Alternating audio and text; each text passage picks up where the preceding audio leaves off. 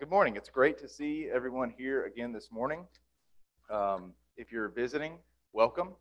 I too am a visitor, um, although fairly frequently. It turns out I'm here about once a month.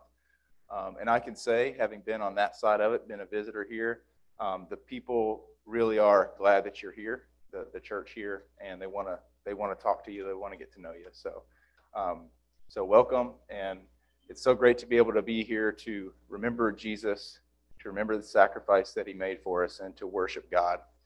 Um, when you think about Jesus, when you think about his teaching, you were going to tell somebody, what did Jesus teach? Who was Jesus? What comes to your head? Something comes to mind. More than likely, when we think about Jesus, who he was, what he taught, a lot of times our minds go to the Gospels Matthew, Mark, Luke, and John. And maybe beyond that, we think about some of the other New Testament writings, right, where Paul and Peter and some of the other apostles and writers would elaborate on what was accomplished in Jesus' death and his resurrection and what it looks like to follow him in today's world uh, and some of the details of his church. But the reality is that for this thing that we call the Bible, this collection of writings, most of it is the Old Testament. Um, and the reality is, is that it too had a whole lot to say about Jesus and who he was, as most of you know. The Old Testament foreshadowed many of the things that Jesus would establish and what he established and what was accomplished in his death.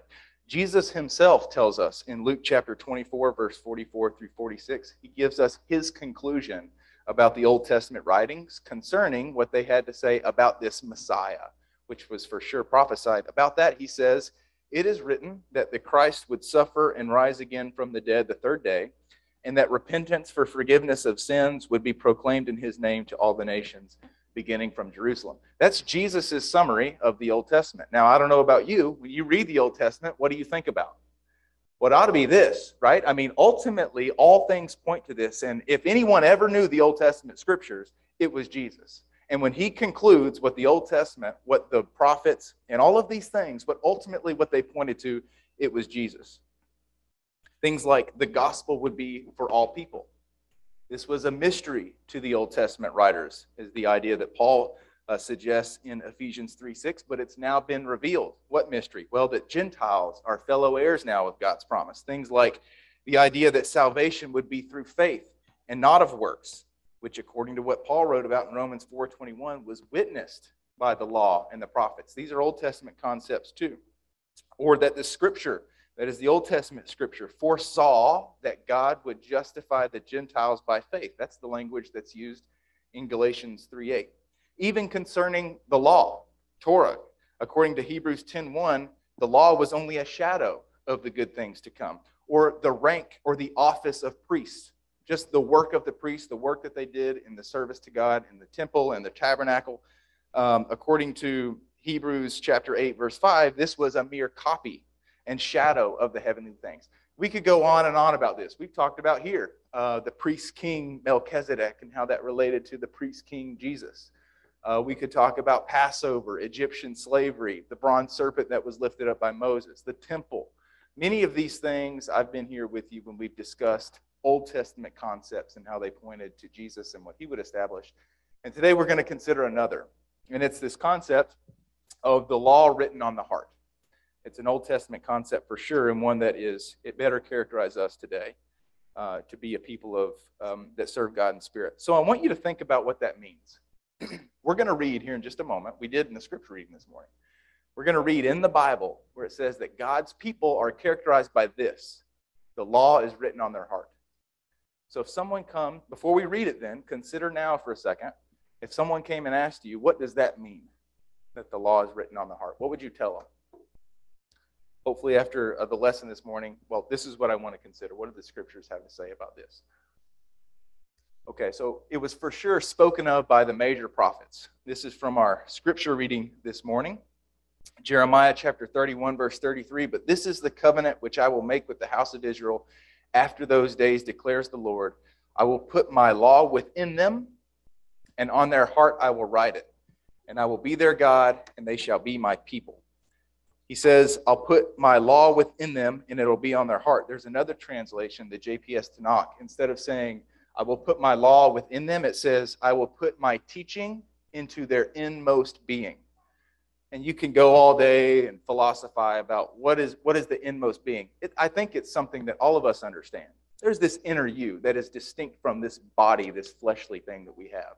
And, it, and God says, I like this translation, I will put my teaching into their inner person, into their inmost being.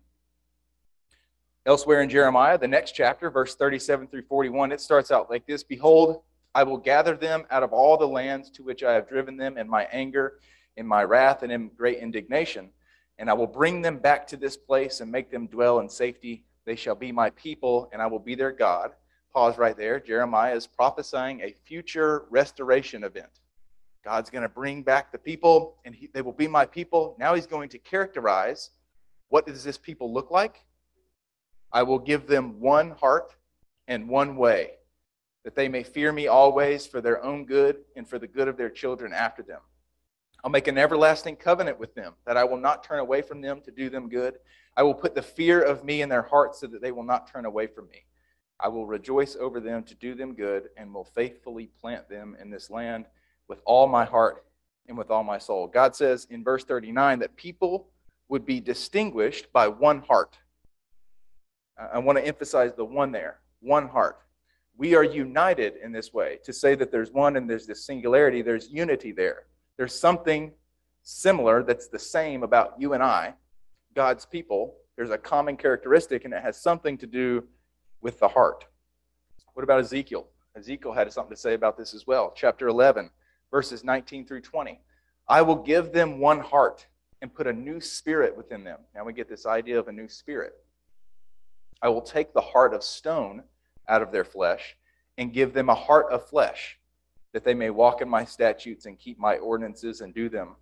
Then they will be my people and I will be their God. Again, Ezekiel describes the one heart. God's people would be recognized by their heart. And you think about the significance of that compared to what the standard was. God's people in those times was understood in what way?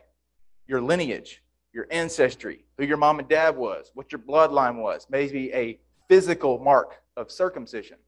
But now God's people would be recognized by nothing physical. It has purely to do with your inmost being, your inner person. It has to do with your heart. And uh, what about this heart? What's it like? Well, a little bit of information here in verse 19. It says that it's a heart of flesh. And you think to yourself, what is this heart of flesh? It's sort of poetic language, but he contrasts it with a heart of stone. And that gives us an idea of what he's talking about. I will give them a soft heart. God's people are characterized by a soft heart, not a hard heart, one of stone, because if a heart is soft, it's moldable. It can be manipulated. God can change that into what he needs it to be for his service. Whereas if you have a stubborn heart, if someone has a hard heart, one that can't be changed, um, well, then they're going to, it's going to struggle to listen and adhere to what God has to say. Ezekiel says in chapter 18, verse 31 and 32, cast away from you all your transgressions which you have committed and make yourselves a new heart and a new spirit. Why will you die, O house of Israel? For I have no pleasure in the death of anyone who dies, declares the Lord. Therefore, repent and live. 18 chapters later, Ezekiel 36, 26. Moreover, I will give you a new heart and put a new spirit within you. I will remove the heart of stone from your flesh and give you a heart of flesh. These prophetic writers are, are hammering this concept. It's a really important one and clearly one that's going to uh, be a part of this future establishment. So, so far, what does, the, what does it mean to have the law written on the heart? There's a couple things that we can glean just from what we've read so far from Jeremiah and, and Ezekiel. For sure, it has to do with the inmost you. What was translated, uh, it was translated that way in the in the JPS Tanakh translation. In particular, in particular, a transformation of the inmost you. It's going to change you and your character. It is characterized by a reverence for God or a fear for God, a respect for God. It's characterized by a soft heart as opposed to someone who is hard hearted, and certainly repentance, which we saw in Ezekiel chapter 18. And all of these things are connected. A person who is willing to repent is willing to admit that they uh, are wrong. It is a penitent person, and that is a soft heart. So all of these things are, are connected. Now, this is from the major prophets, but really the crux of the matter is an old concept. Um, God has always been interested in the heart. It is not exclusively something that's a New Testament concept. In um, let's see, in First Samuel we see this. Um, Samuel, you'll recall, was ready to look for a replacement for uh, King Saul, and God told him, "Go and look for this. You'll find this king. He's one of the sons of Jesse." And so Samuel goes and he meets one of Jesse's sons. His name was Eliab, and he thinks, "Man, you look like a king." I'm looking at you. I, you look like a king. And God says, well, here, here's the, uh, the interaction here in 1 Samuel 16, 6 through 7. The crux is this God says, um, I'm not looking at the appearance. My criteria has to do with the heart. When they entered, he looked at Eliab, that's Samuel, and he thought, Surely the Lord's anointed is before him. But the Lord said to Samuel, Do not look at his appearance or at the height of his stature. I have rejected him. For God sees not as man sees. For man looks at the outward appearance, but the Lord looks at the heart. God has always been concerned with the heart. Even in the law of Moses, this is Deuteronomy. This is Torah. Deuteronomy 10:16. So circumcise your heart and stiffen your neck no longer. They were given this command even in the old times. And of course they corrupted it and, and eventually pursued an external service. Um, but this is a similar commandment that we're given. In Romans chapter 2, 28 through 29, Paul says, For he is not a Jew who is one outwardly, nor is circumcision that which is outward in the flesh. But he is a Jew who is one inwardly. Jew means someone of Judah. Judah means one who praises God.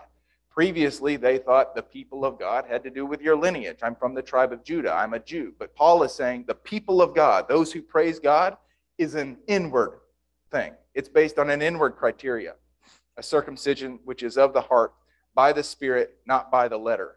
And his praise is not from men, but from God. This concept of contrasting between the Spirit and the letter is not one that Paul uh, only does here. We will look at another instance where he talks about this idea.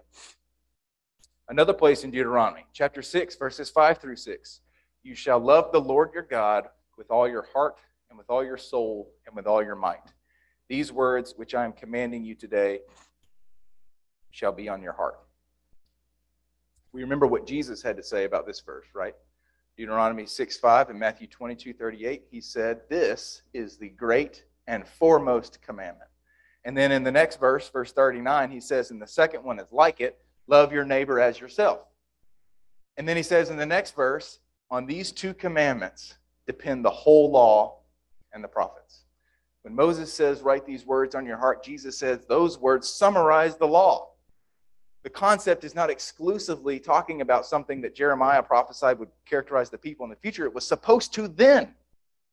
The law was supposed to be on their heart, something that they internalized within themselves. Um, beyond this, Jesus had a lot to say about the heart. Um, and if you have your Bible, turn with me to Matthew chapter 5. I just want to, I didn't put up a bunch of verses on the screen here. If you have your Bible, you can uh, scroll with me through it, I want to survey what Jesus had to say about this matter. If you take nothing else from this lesson, what does it mean to internalize the truth of God? What does it mean to have the law written on your heart? Just meditate on what Jesus had to say about this. If there were ever a preacher that hammered this concept, it was Jesus. So look at this with me.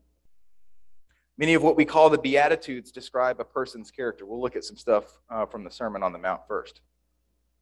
The Beatitudes characterize a person's character, and this is what Jesus led off with in the Sermon on the Mount. This is Matthew chapter 5, verse 6. He says, Blessed are those who hunger and thirst for righteousness, for they shall be satisfied. Hungering and thirsting for righteousness is an internal quantity. Look at verse 8. Blessed are the pure in heart, for they shall see God.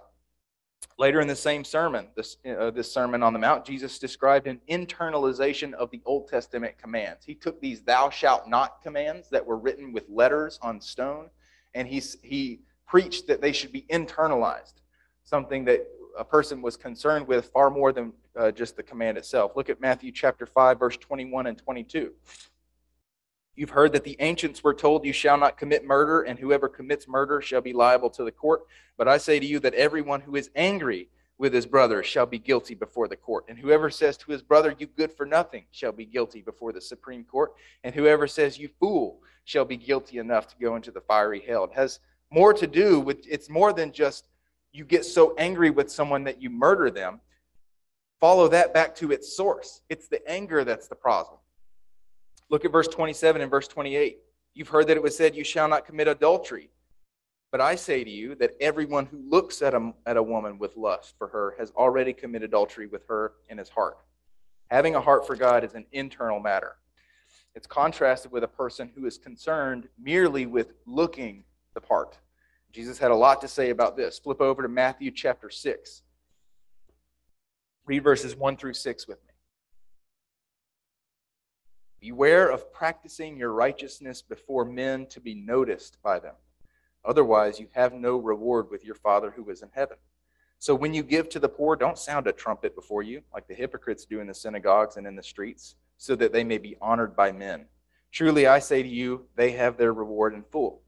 But when you give to the poor, don't let your left hand know what your right hand is doing, so that your giving will be in secret, and your Father who sees what is done in secret will reward you. When you pray, don't be like the hypocrites. They love to stand and pray in the synagogues and on the street corners so that they may be seen by men. Truly, I say to you, they have their reward in full. But you, when you pray, go into your inner room, close your door, and pray to your Father who is in secret.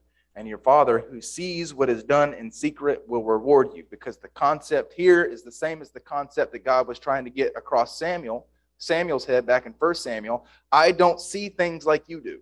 You look at the outside. The Pharisees sought to sought the approval of men. They sought to appear righteous, to look righteous, but God sees beyond that, which is so often fake. And he sees your heart, which will manifest in those things. But only you know your heart and God. Look at verse 16 and 17 of, of Matthew 6. Whenever you fast, don't put on a gloomy face as the hypocrites do, for they neglect their appearance so that they will be noticed by men when they are fasting. Truly, I say to you, they have their reward in full. But you, when you fast, anoint your head and wash your face. Flip over to Matthew chapter 7. Look at 21 through 23. You know, if we judge based on the appearance, if we consider a person righteous because of how they appear to be, there's a level of that person that none of us can see. And what Jesus is going to talk about here in 21 through 23, there may be a surprise about who ends up not being with God eternally because of their motivations for why they did what they did. Not everyone who says to me, Lord, Lord, will enter the kingdom of heaven, but he who does the will of my Father who is in heaven will enter.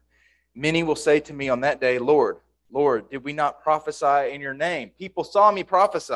And in your name did we cast out demons? People saw me do this. And in your name we performed many miracles. God, don't you know that my reputation was that I was one of your followers? Just ask anybody, they know. And then I will declare to them, I never knew you. Depart from me, you who practice lawlessness. There will be many people who would like to point to external service, but God didn't have their heart. Only you can answer this question this morning, but God knows. Jesus often used the Pharisees as a counter example to this point. If you flip over to Matthew chapter 15, look at an instance here Matthew chapter 15. Now, what's going on here is the Pharisees are criticizing Jesus because he didn't wash their hands. He and his disciples didn't wash their hands before they eat. Okay? In Matthew, Matthew 15, verse 2, it says, Why do your disciples break the tradition of the elders? They don't wash their hands when they eat bread. So this was a tradition, it wasn't a commandment. Maybe it's good practice. You know, it's probably good hygiene to wash your hands before you eat. But the reality is, it was not a commandment of God. And the Pharisees had gone beyond what was the commandment, and they had made restrictive where God was not restrictive. They were enforcing something that God had never said to enforce. And so Jesus has this to say. He gets to uh, the heart of the matter, pun intended, in verse uh, 7 through 11. He says, You hypocrites. Rightly did Isaiah prophesy of you, this people honors me with their lips, but their heart is far away from me. Same concept we've been talking about. People can hear what you say, and you might appear to be righteous, but your heart is far away from me. You and I might not be able to see that. People may not be able to see that, but God does. In vain do they worship me, teaching as doctrines the precepts of men. And after Jesus called the crowd to him, he said to them, Hear and understand. It's not what enters the mouth that defiles the man, but what proceeds out of the mouth. This defiles the man. And the disciples ask more clarification on this parable later in verse 15. And in verse 17, he gives the answer Don't you understand that what goes into the mouth passes through the stomach and is eliminated? These are the physical things. But the things that proceed out of the mouth come from the heart, and those are what defile the man. For out of the heart come evil thoughts, murders, adulteries, fornications, thefts, false witness, slanders. If you get the heart right, you will necessarily fix the other thing. You can attempt to appear to do all these things and attempt to appear righteous, but God sees the heart. And if you get the heart right, well, the fruit of the Spirit is produced. We'll talk about that concept in a moment. These are the things which defile the man, but to eat with unwashed hands does not defile the man. As a final example, flip over with me to Matthew chapter 23. Jesus had a ton to say about this concept. Matthew chapter 23, starting in verse 25. This is where he's given those woes to the Pharisees. Woe are you, Pharisees, uh, hypocrites. This is verse 25. For you clean the outside of the cup and of the dish, but inside you're full of robbery and self indulgence. You blind Pharisee, first clean the inside of the cup and of the dish, so that the outside of it may become clean also. Woe to you, scribes and Pharisees, hypocrites, for you're like whitewashed tombs, which on the inside appear beautiful, but inside they're full of dead men's bones and all uncleanness. So you too outwardly appear righteous to men, but inwardly you're full of hypocrisy and lawlessness. Now, in saying all of this, in shifting our focus from an external service to an internal service, the point is not that what we do doesn't matter. In fact, you know, Jesus says in verse 26 there, clean the inside of the cup so that the outside may become clean also. He said earlier in the Sermon on the Mount that unless your righteousness surpasses that of the scribes and Pharisees, you too cannot enter the kingdom of heaven. But the key point is this it has to do with your motivation. Okay, um, the motivation for the Pharisees was external. And Jesus condemned the Pharisees for seeking the approval of men. Everything that they doing was everything that they were doing that they would call righteous, that they were doing to obtain a reputation, it says they did it to be noticed by men. Instead, Jesus calls for action that was motivated from a pure heart. Service has to start on the inside. And a concept that appears very frequently in the Bible is uh, this analogy of fruit. And it's really a perfect example in, the, in getting this across. Consider this scenario someone comes along and gives you a plot of land, and they employ you to grow for them apple trees. And they don't want orange trees, but there happens to be some orange trees on this plot of land. Now then, the boss goes away and he says, I'm going to come back in a year and I want to see all apple trees. So now a year comes by and he, and he comes back ready to see it. Now, how are you going to satisfy your boss? There's a couple ways you could go about trying to satisfy your boss. One is to uh, go to all the apple, uh, the orange trees and paint all the oranges red. That's one solution, right? And hopefully, if your boss stands way far away, maybe he's like, oh, excellent job right? Those look like apples. In just a year, you were able to grow this big old tree and have and have tons of apples. Great job. But if the boss takes any bit of a closer look, if he wants an apple tree so that he can eat an apple, he's going to be very disappointed when he takes a bite of that that, that red looking orange, right? And and the idea is clear here. Now, why might a person try to paint these oranges red? Why might the Pharisees try to appear be an apple tree when they're really an orange tree. And I'm just using an example here. Because it's easier. Because these roots are deep for this orange tree. And to go and dig that thing up, you got to take every ounce of what was that orange tree and get rid of it. And the same is true for you. This is life changing stuff. To follow Jesus means take up your cross and you kill your former way of life. You're going to have to do a lot of work and dig deep you don't just cut the trunk, you don't just paint oranges red. You got to pull out all the nasty roots and change your entire life kill that old way, and then work the soil, plant the seed of an apple tree. And you know what happens when you plant seeds? It grows. People water, but God brings the growth. And this natural process is so powerful, right? Because it, it points our focus to the right place. Get to the heart of the matter. Plant the seed of the Word of God. Work on your heart that it be the type it was said in the prayer this morning. Give us a heart and a mind to listen this morning. And I'm right there with you trying to understand this. The word is there, the seed is there. Work on your heart so that you have a chance to be transformed and be what we need to be. Jesus talked about this, right? We think about the parable of the sower. The seed is the word of God. And it's there. It's there ready to produce. But you got all these different soils. What type of soil is your heart? Is it the good soil? There's a lot of different soils that'll choke it out, that it never has a chance because it's hard hearted. This was the heart of flesh that Ezekiel and Jeremiah were talking about. The fruit identifies the tree. I'll flip back over to Matthew 7 and read this one. Matthew chapter 7, verse 16 through 19. It says, You will know them by their fruits. Grapes are not gathered from thorn bushes, nor figs from thistles, are they? So every good tree bears good fruit, but the bad tree bears bad fruit. A good tree cannot produce bad fruit, nor can a bad tree produce good fruit. Every tree that does not bear good fruit is cut down and thrown into the fire. So then you'll know them by their fruits.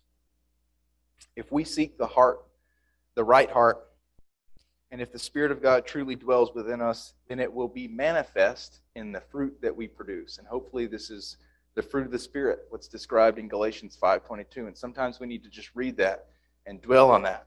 Love, joy, peace, patience, kindness, goodness, faithfulness, gentleness, and self-control. The law written on the heart means that you have internalized the truth of God, the teachings of Jesus. And in doing this, our service to God becomes more than just checking off boxes of apparent righteousness. You see what I'm saying? There are these there are these ideas that people associate with righteousness, and we put a box beside it and we want to check it off. What appears righteous? Maybe going to church, right? So we check off that box, go to church on Sunday, but then we never open our Bible again until the next Sunday. We're at lunch and there's people around, so we close our eyes, bow our heads, say a prayer so that we can build up a reputation, but we never want to dive into a deep conversation. We never go to God in prayer uh, when we're struggling with sin.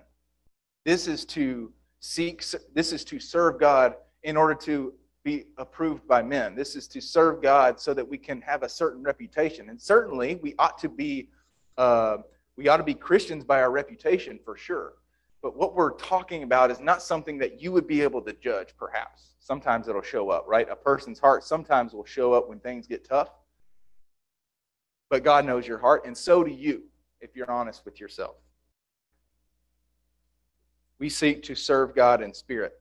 Paul said in Romans chapter 12, verse 1, that our spiritual service of worship is presenting our bodies as living and holy sacrifice to God, and that this would be our acceptable service. And he tells us how to do that in the next verse to be transformed by renewing your, of your mind.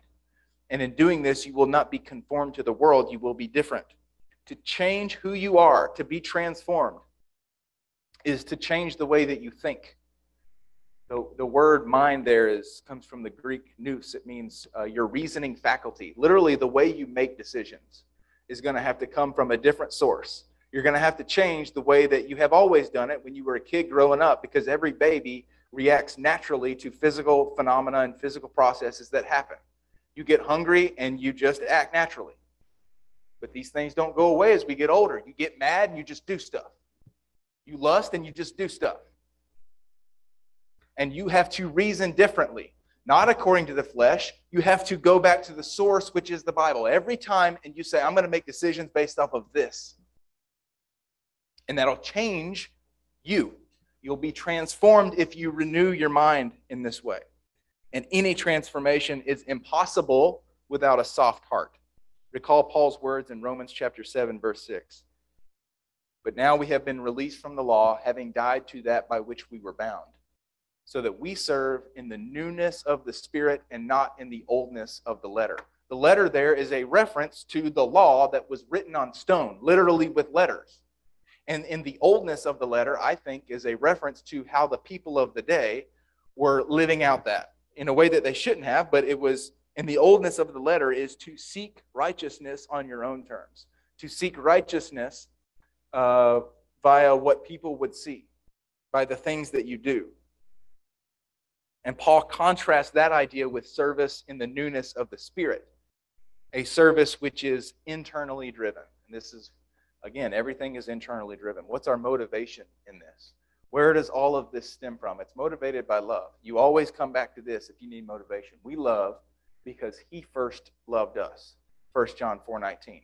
And we have a weekly reminder of that one. For God so loved the world that he gave his only begotten Son. Whoever believes in him would not perish but have everlasting life. A weekly reminder for this one. The love of Christ controls us from the inside. It's an internal concept, Paul says in 2 Corinthians 5:14. So hopefully this has provided some idea of what it means to have the law written on your heart and to serve in the newness of the Spirit. And what we're saying this morning is not that you'll be perfect. That certainly is, is not the idea here. Remember, we talked about earlier Samuel's search for a king. He was looking for Saul's replacement, and God had to tell him what his criteria was, not what he looks like. It's got to do with his heart. And in 1 Samuel chapter 13, 14, he describes that heart. I'm looking for a replacement that's going to be after my own heart. God was looking for a king that would be after his own heart. We all know who he chooses. It was David. Now, David was far from perfect. And in a way, I'm thankful. In a way, I'm thankful because I'm just as messed up as David is. Everybody's just as lost as David ever been, ever, ever had been as well. But the key point is this how did David respond when he realized that there was sin in his life? When he realized there was a thing that needed to be changed, how did he respond? Not like Saul did when Samuel approached him when he had taken things when they defeated the Amalekites that he wasn't supposed to, and he made excuses like, oh, we're, we're giving sacrifices. This is 1 Samuel 15. And he made excuses and made excuses, but when David committed adultery with Bathsheba, and Nathan, through the parable, brought, brought to his knowledge his sin, his response uh, is recorded for us, the idea of it in Psalm 51, 10 through 12. Look at what David says Create in me a clean heart, O God. I am broken and dirty inside.